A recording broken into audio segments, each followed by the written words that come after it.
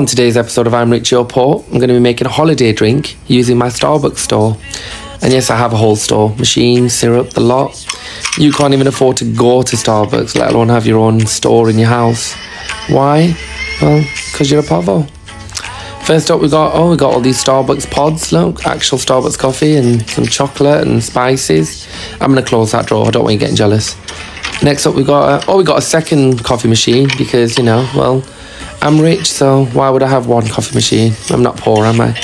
Got Lindor chocolate, none of that cheapy Cadbury's nonsense. There you go. Lindor's the way to go. Put the coffee on the chocolate. And next up, I'm going to do all this unnecessary nonsense. Now, it's unnecessary to you because you're poor, but us rich people, we like to work for our coffee. You know, why would I go and buy one? In all the time I'm doing all this, you could have had 10 coffees, but I'm rich, so I'm going to, you know, twist my coffee and stamp my coffee and stuff. And then I'm going to get all of this out and put the filter on top and, you know, like I said, work for it because I'm rich. Got a machine. There we go. Next up, I'm going to warm up my milk. You know, while you put your milk on a stove, I've got a machine that warms it up for me because I'm not poor.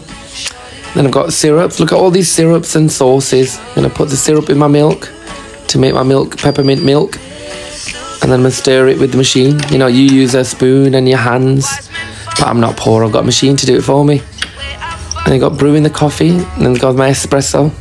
We don't call it espresso, you know, the povos call it espresso.